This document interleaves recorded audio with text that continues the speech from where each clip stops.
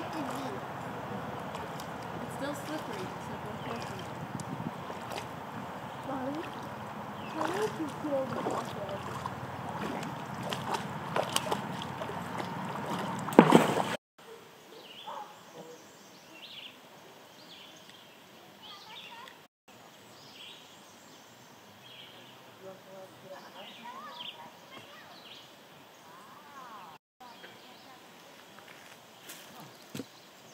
Did Max swim across? Yeah. Wow.